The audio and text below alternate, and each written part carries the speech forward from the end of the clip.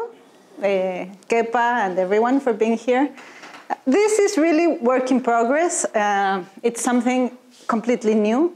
We really don't know anything about delusions, but we're going to say some things, and we hope we convince you by trying to argue in favor of our position. So, uh, as you see, what we are going to try to claim is that delusions are rational in a sense. And we want to claim that they are rational in a very important sense. I think, I, in fact, mm, we think that they are rational in the fundamental sense of what rationality is. So this is controversial already, but I'm going to try to convince you. So the first thing we, we the first question that uh, prompted us to write these things is whether delusions have epistemic value. And this question comes from a debate and a discussion in epistemology that is going on now. Uh, there is a lot of people who have claimed historically that delusions do not have any epistemic value, and that if we want to look into them uh, for epistemic reasons, then it, it is just to understand why what is not know, what knowledge is not, right? So if you want to know what knowledge is not, go and see what delusions are, right? But then there's a new trend in, in, in epistemology of people who are trying to say that delusions have some epistemic value. And the main claim of these people, uh, most of them, is that at least we can say that delusions are um, uh, epistemically innocent. I think they call it like that. I can't remember the, the, the exact term, but the, the idea is that delusions, what, what they help us do is that once you, you have a delusion, your, your system, your, your psychological system starts working better because it um, makes anxiety go away, so you can start reasoning normally.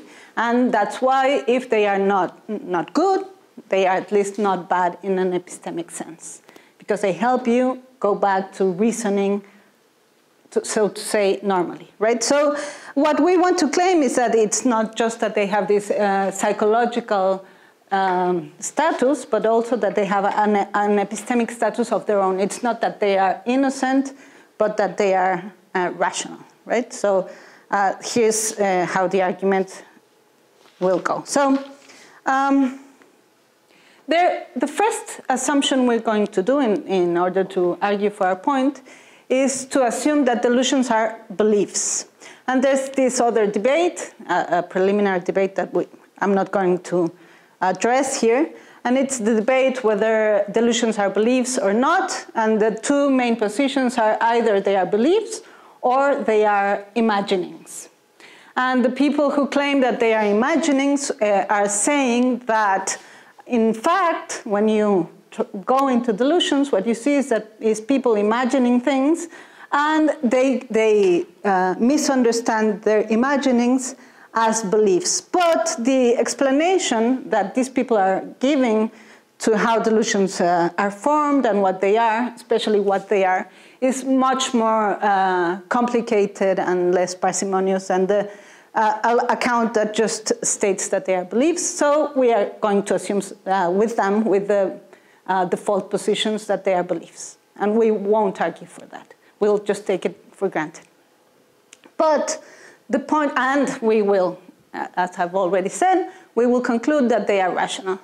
And um, our argument is the following, is that um, delusions, when they start existing, what, it's not that they aim to recover, but that they do, in fact, recover our, our automatic cognitive abilities. So I'm going to explain this better uh, as we go along, but they precisely they do this. They recover the automatic cognitive abilities fundamental for human rationality. So that is what delusions um, allow us to do, and this is what I, that, this is the main argument, and I'm gonna develop this in, in what follows. Um, so, the tradition, something else that I have to say before I go on is that there are different kinds of delusions. Mainly, they distinguish between motivational delusions and uh, systematic delusions. The first, the, the, motivational, normally are supposed to have a, a good like psychological status because they are good for people to start not um, seeing the, themselves as, uh, uh, how do you say this? Um, auto reprobarse? People do that, and so delusions help you to have a better image of yourself, right? And um, those are the motivational delusions, and I won't be interested in those. We are more interested in systematic delusions, which are uh, delusions that come systematically, and they can be about any theme whatsoever. They, are, they don't have thematic because the, the other delusions are thematic in the sense that they are just as on the self image. They have to do with how you think about yourself, and uh, the others are not like that. And when psychologists and cognitive psychologists and uh, philosophers uh, characterize these systematized delusions, they talk about them in this way. They are uh, fixed, false beliefs held with absolute conviction and not amenable to reason. So if you read that definition, the conclusion is fast, and I don't know what I'm doing here. They are not rational, and the rest is whatever. So, and that's how the arguments have proceeded in, in the literature, right? They, they are false beliefs. But there's just one point I want to make here, which I think is really interesting, and it's, you know, now uh, there is this, uh, a lot of discussion in the literature regarding uh, the um, blindness to evidence of some of our beliefs, particularly our political beliefs. And they claim that, they are group, that this is a group phenomenon and that what happens is that when you're in a group or when you belong to a group, you become irrational. And so you become uh, blind to evidence, and there's nothing no one can tell you to show you that you're wrong because you are convinced of what you're saying. And I think that that phenomenon is just, uh, if you go like in a continuum, it's just another way of thinking about it's like the, the extreme case of that is delusions. You can think they have a, a common explanation, both phenomena, both phenomena. So that's why we're interested in this. In fact, I am much more interested in the other phenomenon, but I think it, this will sh uh, shed light on the other one, right? So, well, that was just a point. So, um, but I think that we think, Axel and I, that there is a problem in the way uh, the phenomenon has been thought about. And it is because people have been thinking more about what is a delusion than about how a delusion is formed and why a delusion is formed. So if you change the question you're making, then the, what they, how you characterize them and what, what role do they play in our epistemic and psychological lives, I think changes. And that's the point we're trying to make. So the first thing is that we think that the question has to change. It's not what are delusions and what's the content of the delusions. And that's why it doesn't really matter whether you have different kinds of delusions. What we want to understand is how they are, how they come to existence, or uh, why they uh, start to exist. So what we're trying to do is to answer this question and by answering it, try to, uh, to argue that they are rational in a fundamental sense. So how do they happen? Most people say that there, there have to be some things like brain damage, perception failure, reasoning biases, and cognitive deficits. Delusions are normally associated to all these things. And uh, these things, sometimes or most of the time, and particularly with some things like uh, schizophrenia, for example, or things like that, they trigger anxiety. So what happens is that people are very anxious when, when before having the delusion, they get very anxious, and then uh, this anxiety pops up the illusion, right? So this is, uh, so what there they are supposed to be three steps to generate a delusion. So first you have this anxiety, and, it, uh, and the anxiety starts because we normally, when we, what, that's what psychologists say, um, what we have is a, a, world model somehow, and there are very different explanations in the literature of how that happens and what is working there. It doesn't matter now. But you have a world model, and then you start trying to predict what will happen, um, especially if there is something, you're, something important for you about to occur. So you start predicting what will happen, how long will it take for that to happen, and what happens before delusions uh, occur is that all your predictions are wrong. So you start having one after the other prediction error. And that starts generating a lot of uh, anxiety. That's how, this is not me nor Axel, this is uh, the literature. This is what the literature says. So uh, this anxiety, what, what, what it does is that it crushes our unconscious predictive mechanisms. It just overloads them with, with work because uh, the more errors, errors you commit, commit, the more anxiety it gets, and then all your systems start being overloaded with, with, with work. They are trying to process all this false information, and they finally generate this belief, which is the delusion, which explains all your errors. So it is false because it has nothing to do with the world. It's just an explanation you give to yourself about why you're committing all these errors, and that gives you an explanation of what's going in the world. For example, you say, oh yes, there's someone following me. And that's why I cannot predict because uh, someone is watching my moves, so I have to act differently, whatever. It, it depends on what the delusion is about. And that, uh, what happens in that point is that the conscious control mechanisms take over the, the, the automatic mechanisms. So they start controlling, and uh, they, what they do, and this is very impressive, is that they um, form a coherent, a very coherent story about what's going on. And then the delusion gets formed. But all your, your automatic mechanisms, once the delusion is formed, start working normally. But, but the, the conscious processes, those are the ones that are processing the information.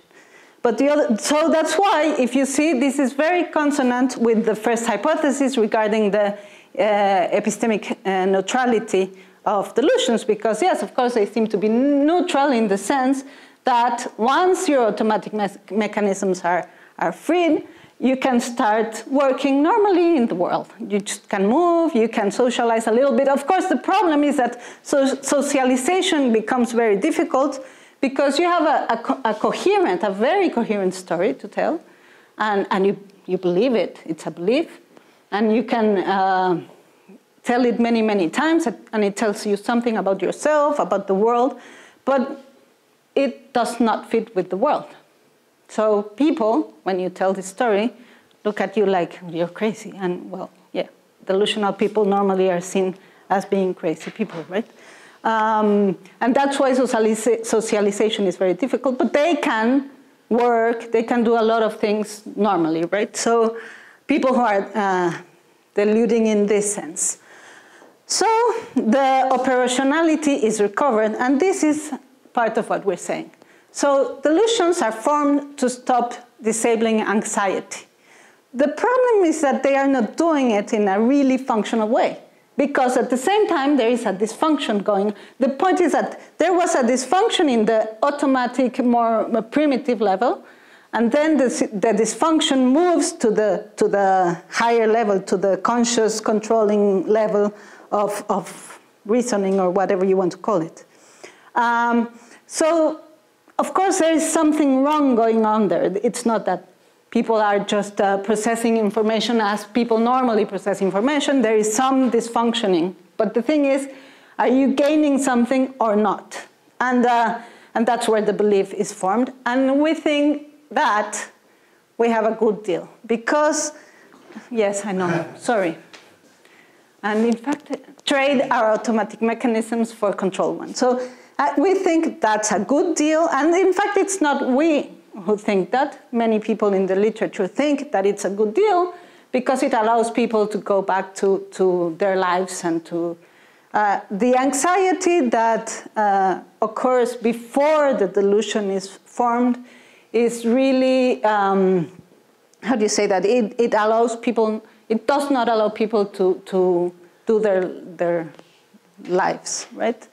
So we think that we get back the most epistemically, and this is something we have to argue for, the most epistemically valuable mechanisms um, or abilities in exchange for less valuable ones. So here we're claiming something quite strong. We're saying that the uh, automatic mechanisms are more valuable in an epistemic sense than the control mechanisms. And normally, if you read the literature and if you read epistemology, people would not agree with this because what they say is that rationality, uh, coherence, and everything has to do with uh, the upper level mechanisms, not with the lower level mechanisms. And uh, probably they are, they are right, but our claim is that those higher order mechanisms require to, to operate the operation of the lower level.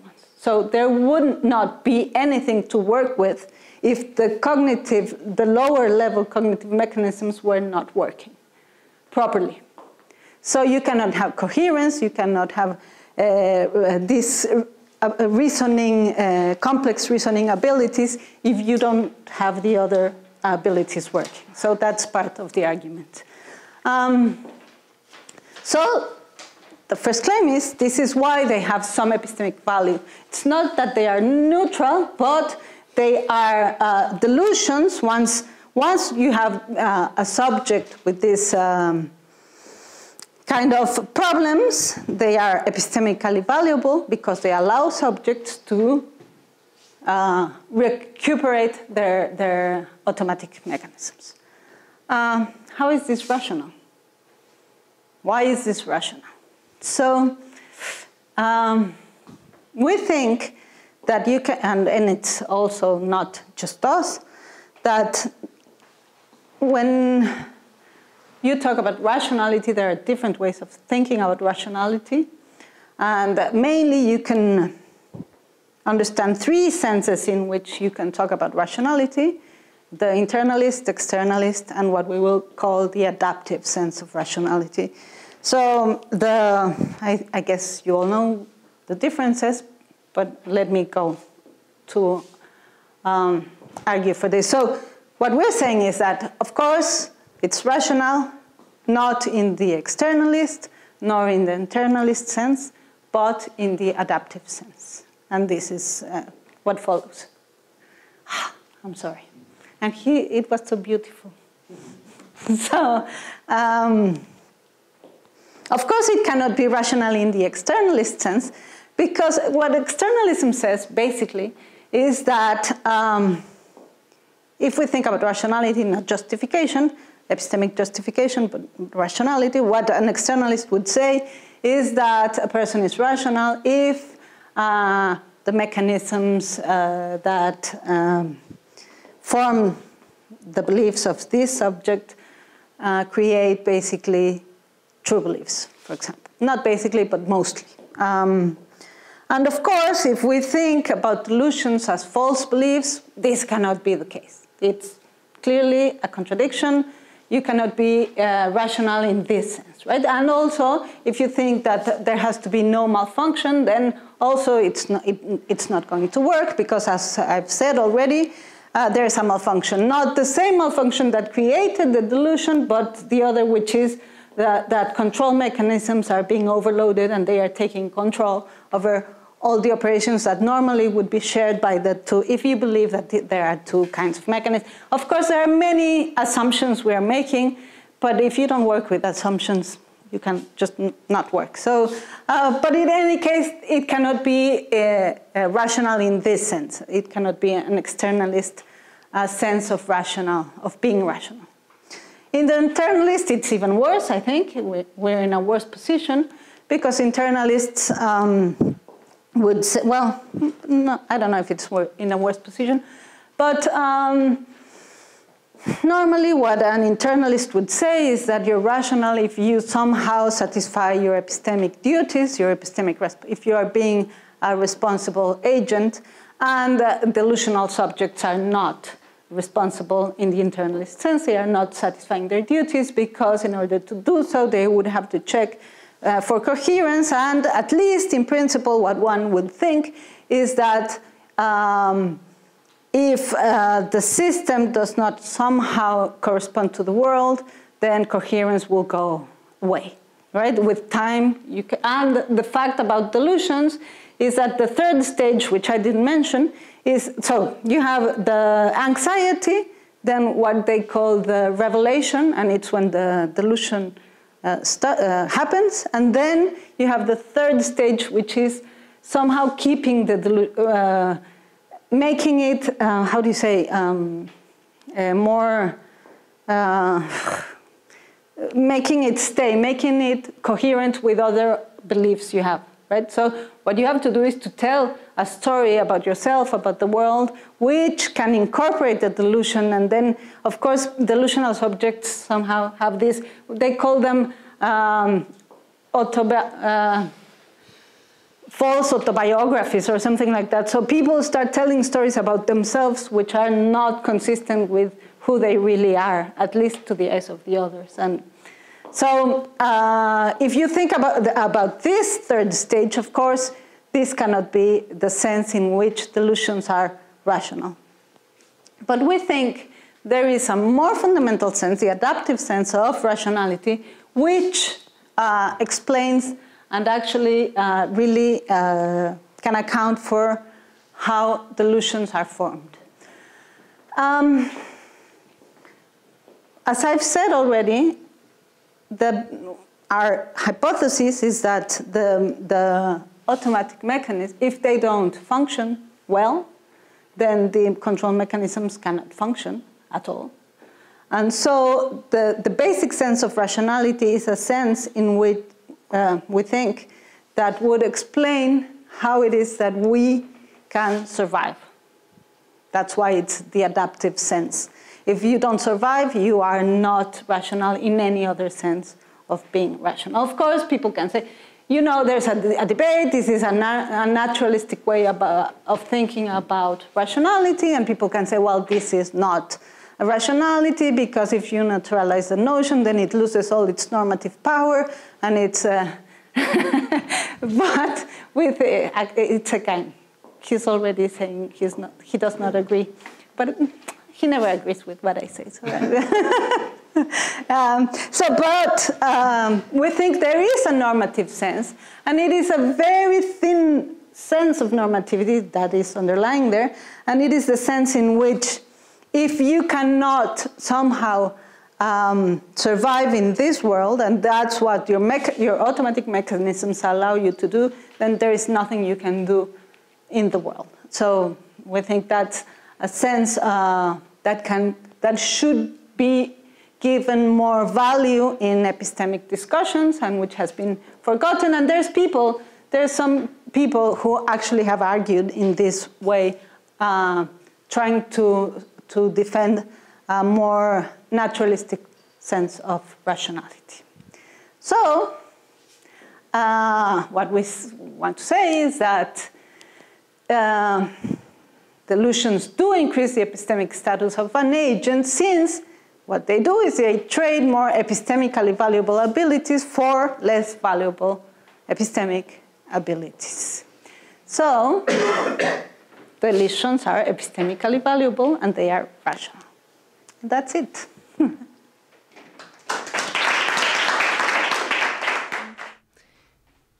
if the delusion starts in the very beginning to stop the anxiety. Uh, how can it be adaptive if I guess that having a delusion can cause a lot of anxiety then? So why do you solve one problem with another uh, bigger problem? So now it's um, the delusion precisely stops the anxiety. So the thing is that once you have the delusion, you stop being anxious. And that's why your, your automatic mechanisms can start working normally because you're not anxious anymore. The problem is that you would get anxious again if you cannot form a, a complete coherent story. And that's why the conscious uh, mechanisms take over the, uh, the basic ones, right? So what, what happens, uh, it seems, is that uh, they are, what they are doing is that they are stopping this uh, anxious state, uh, way of stadium, And, um, but, but once they start existing, you have to form a story that normally does not uh, correspond to reality, right? Uh, because you have you, you start deluding because um, you have a lot of prediction errors. So you would still have the prediction errors if you wouldn't if you did not form this belief that is false but allows you to accommodate your experiences. So delusions are helping accommodating the experiences you are actually having. Accommodating inside yourself, not, not with the world. So it's like the world starts doing what you want it to do, but uh, you don't get more anxious. You stop being anxious. Yeah. Ah, yes. Sorry. Well, it's just a clarif clarificatory one, so it's going to be uh, short. But I still don't have a clear idea of what a prediction means because it's, I don't know. I was thinking, I haven't read uh, much about those kind of topics, but that when you are predicting some things, uh, well, well, they are complex one, or when you, but maybe it's because I'm confused. But when you have, uh, when you are imagining things that could happen, that uh, it can happen that you are doing this, or one possible explanation is because it can help you uh, react to that thing that can happen. So then, what happened there? That you cannot tag them as uh, as things that are not real, or but I, I don't really understand this concept of prediction. Yeah, so uh, precisely. Part of the discussion between them being beliefs and imaginings is that what happens is that you start imagining future events, right? When, for example, you are waiting for something to happen, you're waiting for your boyfriend to arrive, and he does not arrive, so you are sitting in your in your sofa and, and it starts coming late. So you start imagining whether he's with someone else, he had an accident, he, whatever. And so uh, what happens is that every prediction you do just is falsified. But then you can, this is, of course, this is, my example is a bad example because probably you're not deluding and just imagining. And that's part of the debate, whether they are false beliefs or imaginings or what they are. But since delusions is, a, is, an extreme case of this other, all other kinds of beliefs, so you have the, the case where most, what, what you end up doing is that you end up forming the false belief. So what you do is you, you start imagining all these things, and then anxiety stops in the minute you decide for one of the explanations, and you form a belief. But normally the belief is a false belief. It, it has nothing to do with how the world actually is. And so you pick it and you start uh, uh, behaving as if it was true. And there is, people can tell you, no, but this is not true, this is not happening, that's not how the world is. And in order for you not to generate the anxiety again, you have to stick to your belief. And that's why they are not amenable to reason, or that, as they call them, right? So you don't, have, you don't accept any evidence against your delusion, against your false belief, and you keep it. Because what it gives you is some um, uh, equilibrium, right? A, a, psychological equilibrium. But what we're claiming is that what, because of what has been studied in the, in the psychological um, literature, is that they are not only giving you these, these psychological advantages, but also that since what they do is that they make your, your um, basic mechanisms work again, uh, that's, what, that's the advantage, right? So, of course, the predictions you do have nothing to do with how the world is. You are somehow out of, the, of, of reality, in a sense. But you can work, but normally they have to do with one particular subject, not with all your life. The problem is when you start deluding about anything whatsoever, and that's a problem, right? And then they have to medicate, and that's another kind of thing. But Normally, if you start having uh, delusions about one particular subject, then you can have a normal, uh, well, normal, but a more normal life and, and delude about one subject, right? I'm going to stand up. Oh.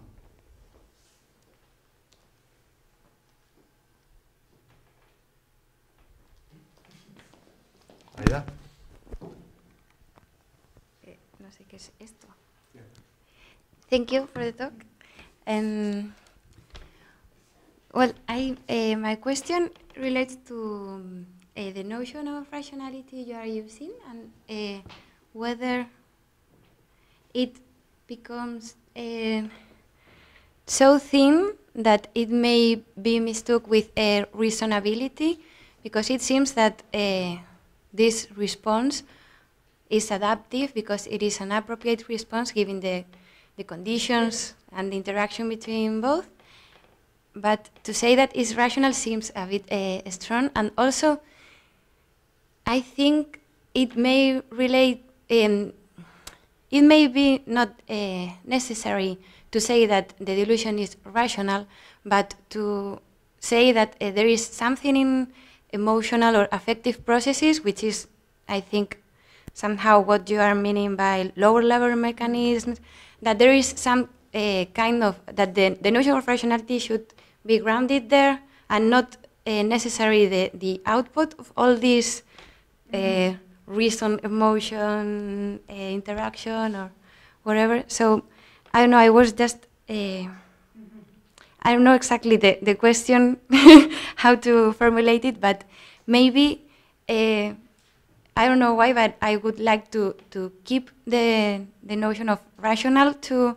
Uh, other things just to, to have it clear and I don't know if there is some advantage of doing the other way I guess so So I think there are many advantages, and that's why we're trying to put this together. It's, it's really, really work in progress. So there are many things we, we don't have clear. But the no, in fact, yes, it is a very thin notion of rationality, and people don't like it, especially epistemologists don't like uh, this uh, thing to be called rationality. But the advantages, in fact, it is me, well, actually, too, that I see in, in thinking of rationality in this way is that I think that normally epistemologists have thought about rationality in a very strong sense. And so very little people end up being rational. And you can sort of making, making, uh, make it thinner without going all the way down. But I think this helps explain um, a lot of the, well, in fact, I think that uh, if you start thinking that rationality has to do with upper level uh, mechanisms, then you start rational, uh, rationalize, rationalizing a lot what it means to be irrational. So what uh, the evidence that we have in the literature regarding how we actually think about things and reason and all this kind of thing is that um, when we start rationalizing and when we, when we start reflecting, normally we end up telling ourselves stories to convince ourselves that the evidence is in favor of what we already thought was the case. So in fact, uh, refle reflecting or reflecting, I, I never know, uh, uh, does not really help in uh, attaining truth. And uh, uh, it seems to me that being able to move in the world in a more adaptative way, I don't know if it will end up attaining truth, but it does not take you further than rationalizing. And since that is the case, I don't see the argument to say that this other thing is not rationality, except that we have a philosophical bias. And we want a very strong notion of rationality in order for most people not to be rational. It, it is us philosophers who are rational, and ordinary people tend not to be rational. For example, and this is a phenomenon I am really interested in, and I think that's what I'm most interested in, and it's these beliefs, these beliefs which are uh, blind to about which we are blind to evidence. So these are political beliefs, right? So for example, they've made all these uh, studies where they ask people about, for example, things like uh, the uh, Iraq war in the US. So they put people and they tell, they give them evidence to think, uh, to show them that it is false what they're thinking. For example, that the war was the only way out because whatever. And um, it's very funny that depending who gives them the information, the way they react, whether they take evidence as evidence or not, whether they are willing to change their beliefs or not. And what this seems to show is that uh, there is blindness to evidence. And I think that uh, that is normally taken to be an irrational um, way of proceeding. And so political positions are always uh, taken to be irrational. So when you talk about politics, you become irrational. And I think that is false. And so this is just a way to go in that direction. I don't know if it will work, but that, that's the intuition behind it. Oh. Me va a pegar. ¿Sí? No, no.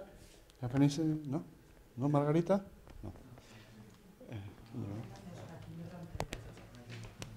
Well, thanks. It was uh, really interesting. I, I think my question is similar to Aida's because I have as well troubles with this notion of rationality as adaptative or adaptive, adaptative. Um, and, and you say that it's too thin, but my worry was the opposite, that it is too broad. Um, because if you, in some sense, if you um, relate it with this idea of survival, it seems that uh, all living things can be rational to some extent. So it's one of my worries, and um, and so my, my my idea is that instead of explaining how this can be rational, why shouldn't we say that sometimes being irrational helps? So I think it's similar. So it's.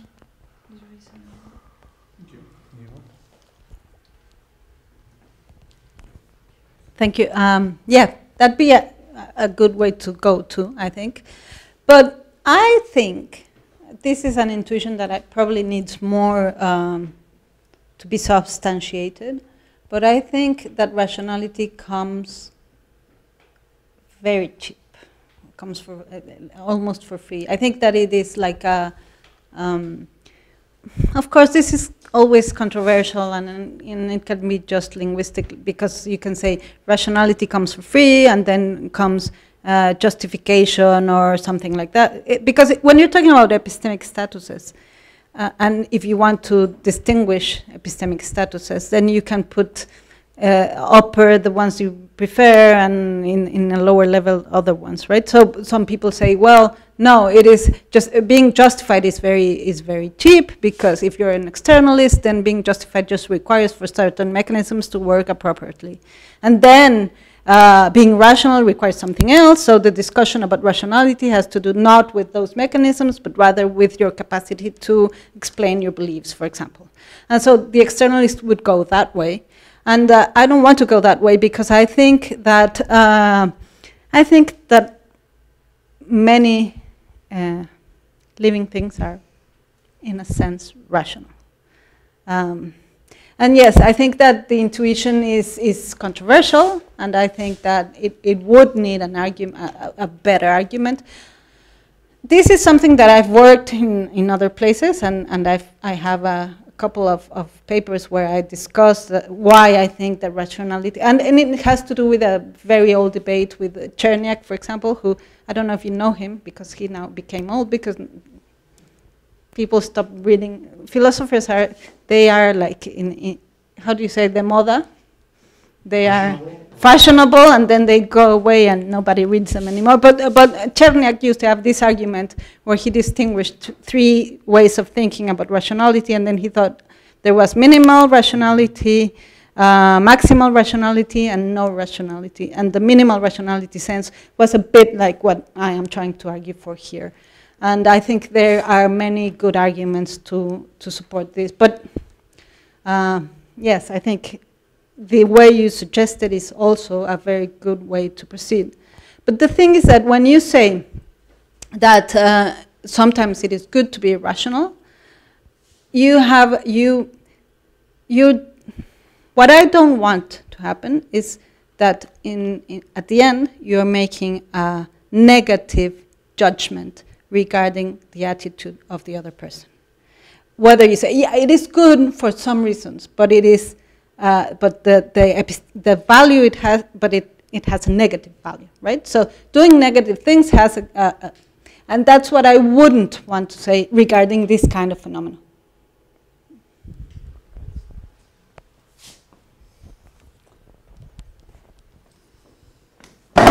Again. Yes.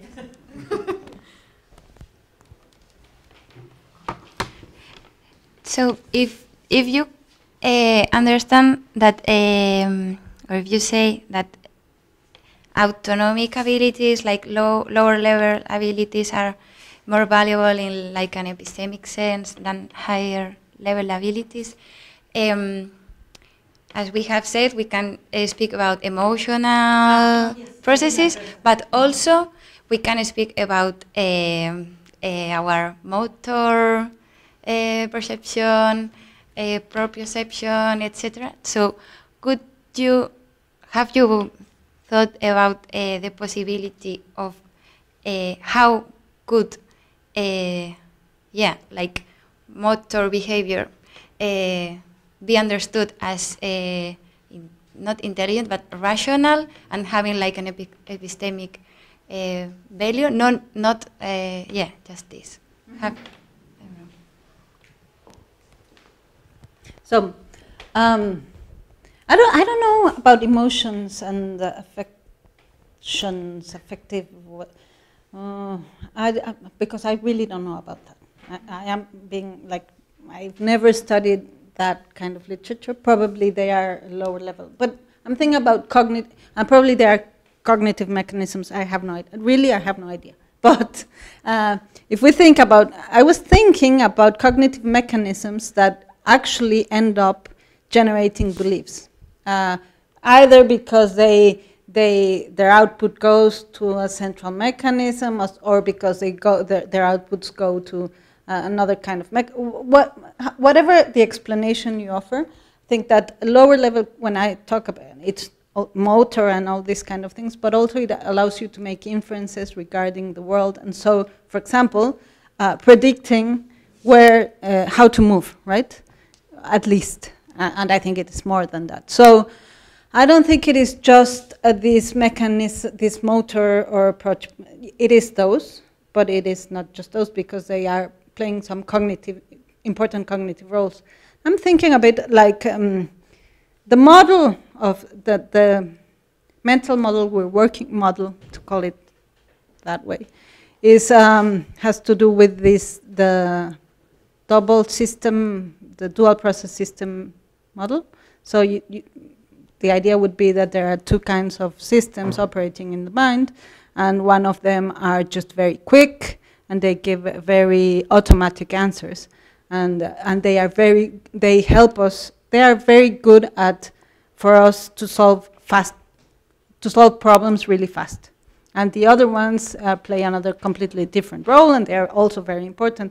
So having that idea in, uh, in mind is what I am thinking about. So um, this, the lower level systems would be doing uh, cognitive tasks and helping us solve problems. It's like heuristic mechanisms or something like that. And uh, probably emotions are there. I, I don't know. I would have to think about that and how they are how they would play a role here. Because of course I, I guess that what you're trying to to um, point to is the fact well I don't know if this is where you're going but it, this uh, leads me to uh, in this other literature regarding um, blindness to evidence what ha people have argued that the problem is that uh, our affection uh, like our emotions are being are being um, put to play in our judgments, and that's why we cannot hear to other because we put our emotions like uh, in the first row or something like that. Um, and I, I don't think that's always the case, but but I, I don't know. I don't know. I don't really know what to say about. That. I think I have to think about this a bit more. Thank you. So I think now it's time for doctors. Starting for the youngest ones. I mean, Thank you. Doctors, not persons. I don't know.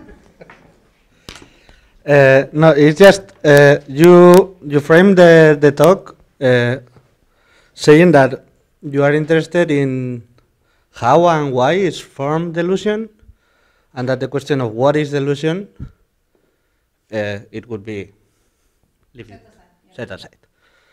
But from what you have said, correct me if I understood well. The idea is that to the question of what is, delusions are beliefs. No, so the what is question is answer. And you have given an explanation of how those beliefs come to be, something like that. So, so my question goes to what uh, does it mean in this explanation when you say that if they have epistemic value or not? because if the, if if they are beliefs, they are false. We assume. So epis. What what do you mean that they still have epistemic value?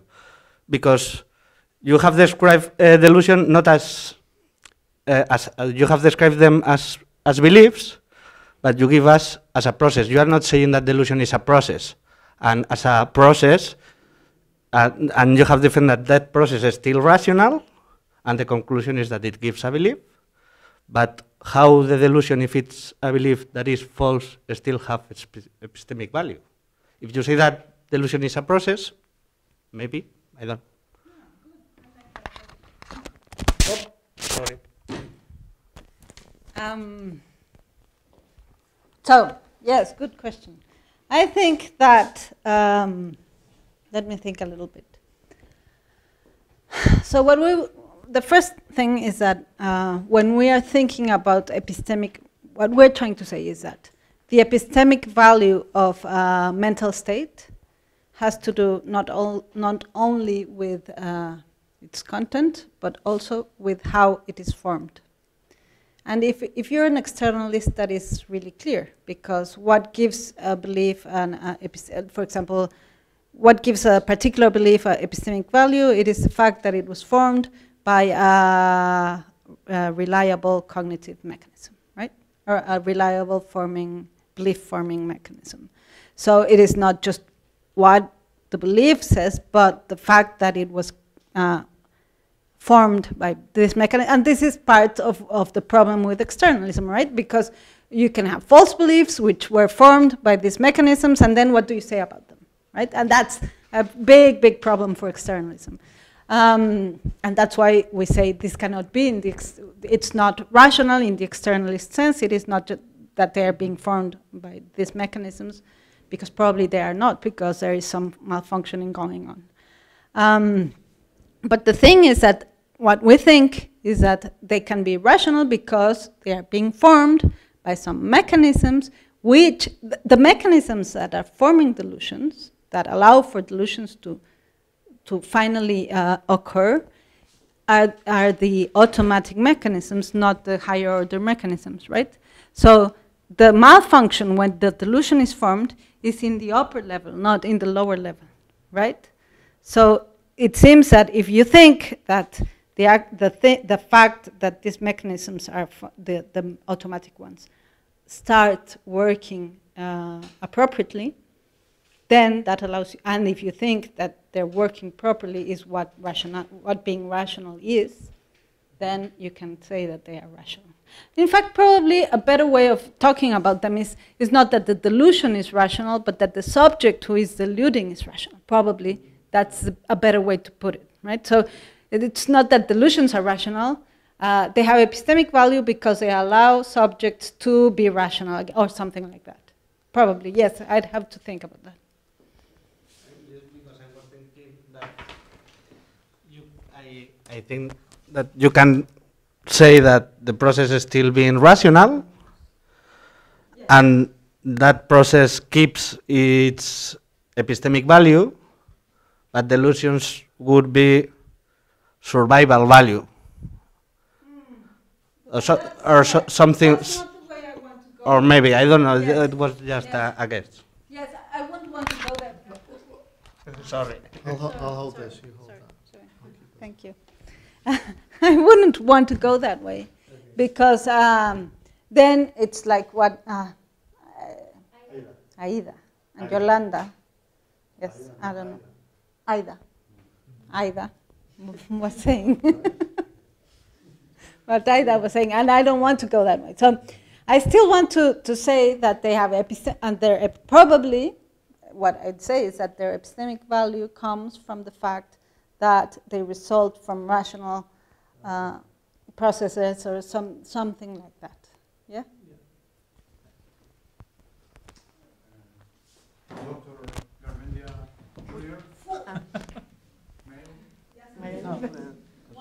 Okay. No. Uh, I have some issues with your uh, adaptive notion of rationality. Okay, I have actually two questions, but the first one is very short, and I actually would like, if, if possible, you to answer uh, with just a yes or no.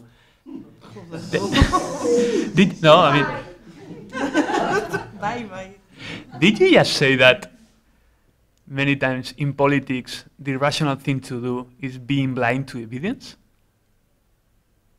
That's what I'm saying? No. Okay, so I misunderstood something. Okay, so I don't know. I mean, there must be something that I don't get about this uh, adaptive notion of rationality. Something that very, very basic that I don't understand. I mean, if I got it right, the thing is that it's a normative uh, notion of rationality. So it puts some epistemic duties on us. I mean, duties just as a not all normativity has to do with, with epistemic responsibility. Not all normativity has to do Maybe instead of a conversation, you can ask and then you okay. Okay, so I don't know. Probably I'm completely lost. But if I got it right, the thing is that we ought to believe in some sense of ought. No. Okay, so I understand. Next question. I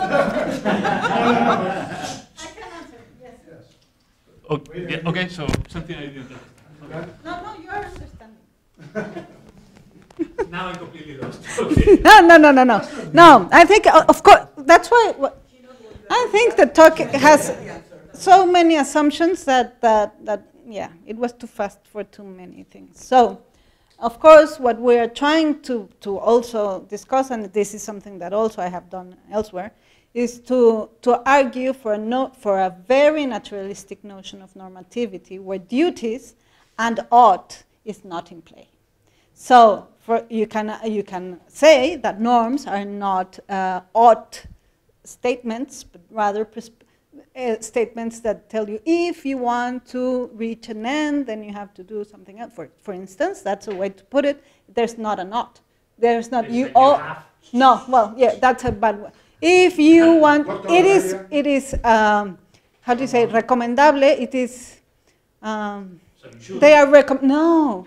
One no, of course not. Recommendations are not ought statements, and that's a discussion that you perfectly well know. Why not? No. So this is there is this uh, debate in the literature, and the norma- the naturalistic way of understanding normativity. What is trying to claim is that you don't have to make out statements, but rather just recommend uh, sort of recommendations. If you want to reach an end, and if you do this, it is more likely that you uh, uh, how do you say, uh, achieve it, right? So something like that. Um, but I don't, now I don't see your problem. What is your problem? Many problems. Uh, No, uh, really. Dr. Txapartegi No, no, no, no. has a question. Yeah, I have two questions, but uh, do You don't? You No? want to I mean, follow up? A follow up? My I guess have is they are going to disagree. uh, Yeah, forever. no, no matter There what. So yes, we can. you can disagree with me. Yeah, I mean, yeah, we can discuss later.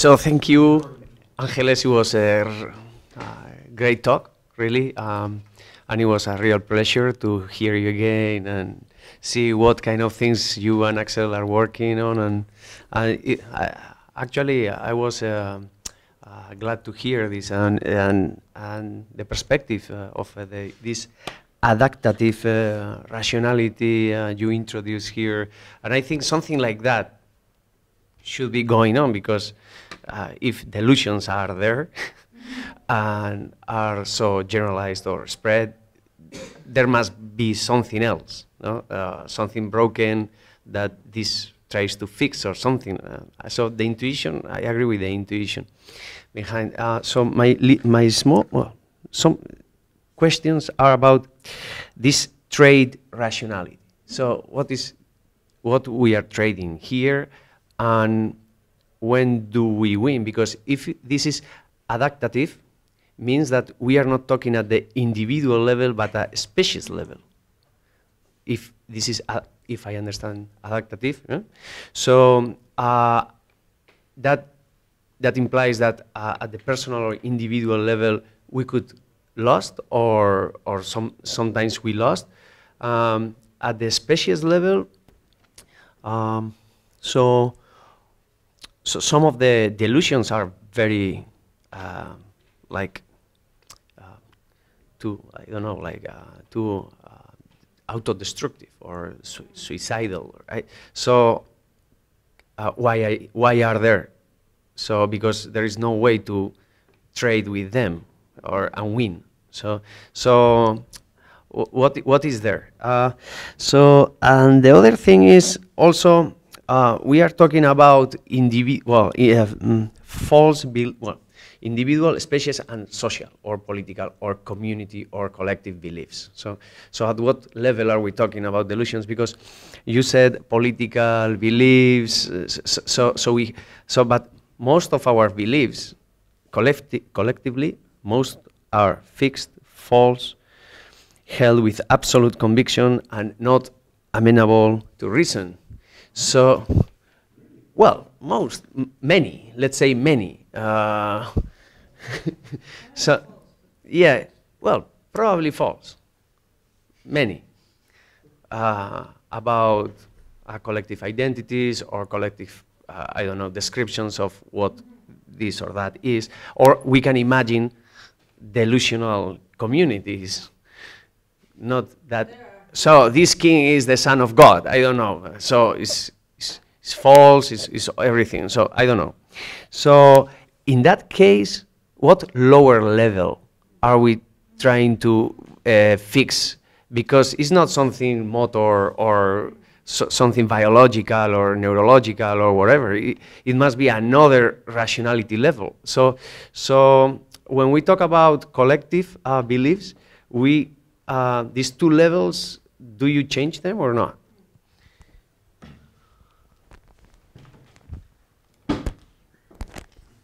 So, um, thank you. Uh,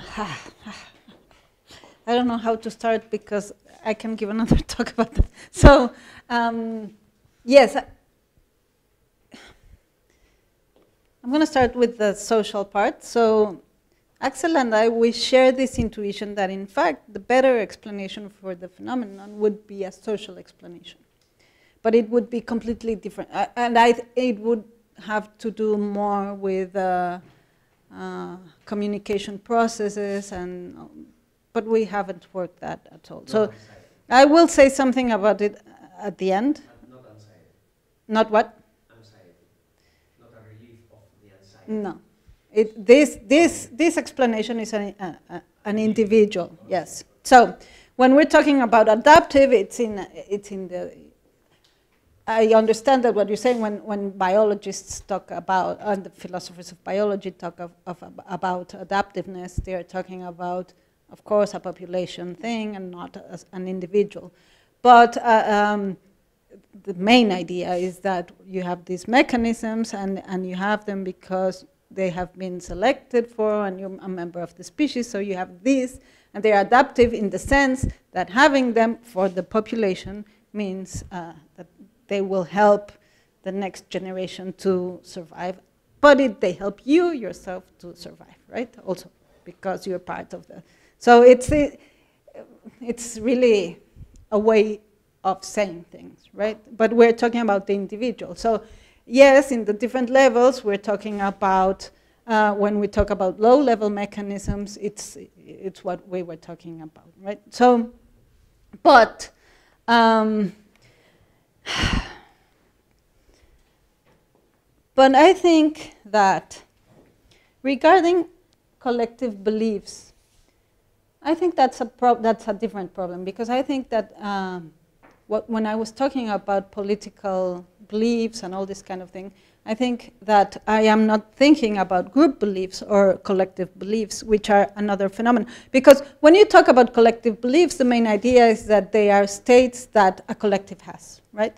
So the first problem is that you have to explain in which sense uh, a collective can believe something, can have a mental state, right? So, and you have to, to get into that discussion, and I think that's very interesting. I'm very much interested in that kind of thing. But, but when I am comparing this with the, that other phenomenon, I am talking more about my, my or uh, sub, an individual beliefs, right? And I think that part of what you're saying is true because I think that uh, these kind of beliefs have to do a lot with um, identities, right? With personal and collective identities. So your personal identity depends a lot on uh, your collective identity. And that is very interesting. But I don't think that they are necessarily false. I think that, in fact, what happens is that um, the evidence is always um, underdetermined. No, uh, our, our theories about the world are always underdetermined. And so the point is that when you have two different explanations of the same phenomenon, and you can, there's a point where you cannot tell which of them is false, right? So the problem is that you can have different uh, explanations and all of them be true, and at there will be uh, one moment in time when one of them will be false. And if there are two contradictory ones, then one of them has to be false. And of course, we will always think that the opposite is the false one. And that's natural to, to think that. And I think we are always right. Right? um, and I have uh, many other things, but. but of course. More? And uh, no? I have two questions. Ah.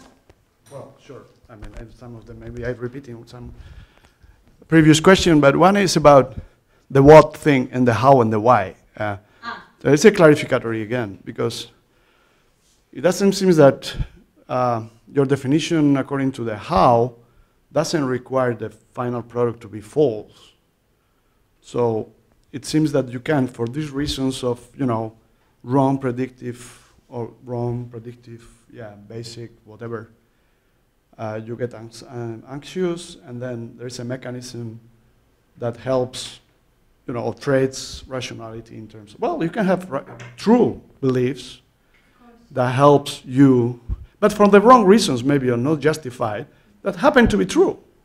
But then, you know, they are exactly like delusions, but they are true, and they work uh, for, for, for instance, uh, you know, we go dinner, we park the car, we go dinner. We come back, we think we, the, the, the car is where we left it, but it's not. So that's like, oh.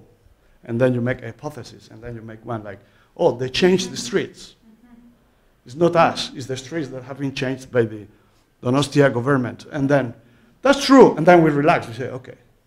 Or the other way around, it seems like uh, having formed this kind of beliefs, even they are wrong, can be not, well, someone said that, right? Not just that solves your anxiety, but the other way around. Say, oh, there is a world conspiracy, follow me, and you know, we're in danger, and let's run, and you know. So, and they can be true. I mean, so it seems like they have, uh, there's a problem in definitions of what, I mean, true, and, and the, mecha the mechanisms can give you true beliefs, but unjustified, and, but, you know, work as epistemically valuable or something. So that's one question. The other one is, uh, some, perhaps because I don't know about uh, the difference about hallucinations and these experiences that sometimes are the, the cause of having delusions, right? You hallucinate, so you start uh, forming false beliefs that at the same time. Um, what about, can be like you can have meta delusions, like, you know, have, uh, like in the dreams, right? We all know this experience that you are dreaming, but you are aware that you are dreaming. So, I guess that the schizophrenic people, in my humble experience, is like sometimes when they say, come on, you don't have a CIA thing in your mind telling you what to do and talking to you. You know that. And sometimes I'd say they, they look at you and say, hmm, this guy caught me. I cannot fool him anymore, or something like that. I, I don't know how, how is the medical evidence for that, but you know, I would say that schizophrenic people, rather, when they are having hallucinations, they can, sometimes they can say, "Oh, I'm having an hallucination." I think I know it's not true. D- is that something like that for delusions? So, yep. Um, so the fir- Please,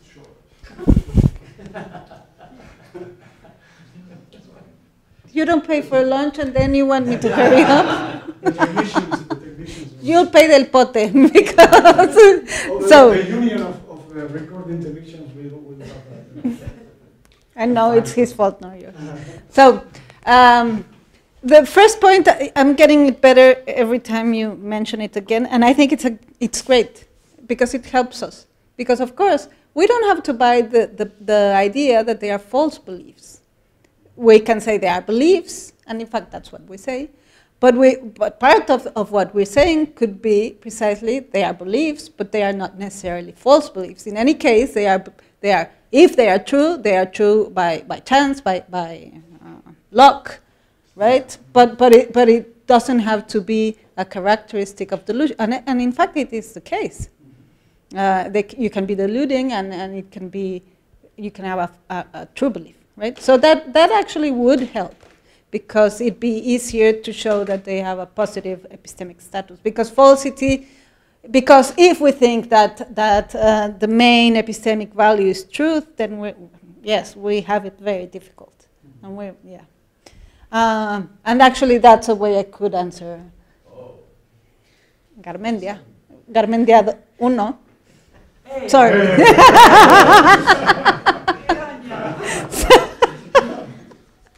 so, um, The oldest looking.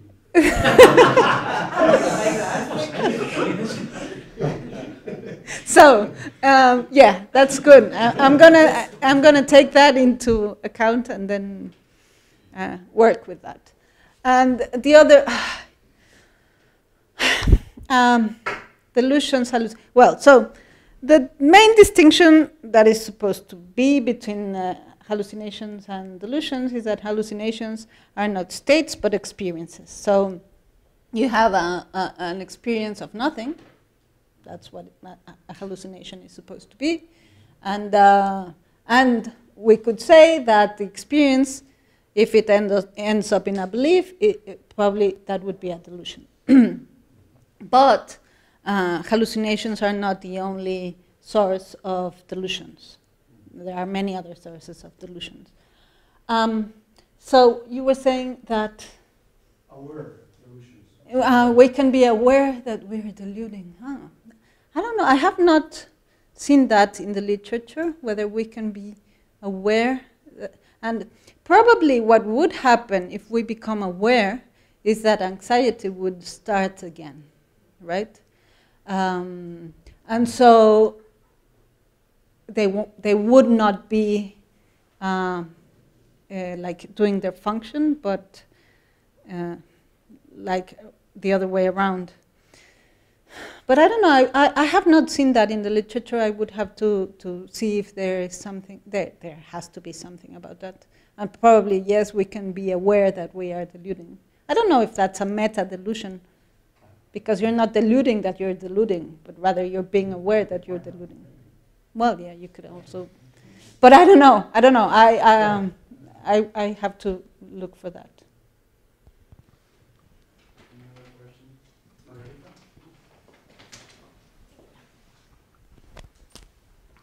Well, uh, thank you for the talk. Um, a little question, thinking about the the way mm, the delusion happened. Um, sometimes when a schizophrenic or a person that have delusion um, is talking with you, it's like if she or he is not um, acting as if he has a false belief and then uh, see the reality in a way, but the process of inference is different. Like, it's not, we, I, I have a false belief and then given that that is true, then I can infer some things and I see the reality in order to, to justify my belief. And thinking about that is probably that have something to do with other kind of uh, inferences that are not a deduction. Something uh, as an induction of an abduction that is probably more crazy abduction that other people make. And I, I don't know. So yeah, um, what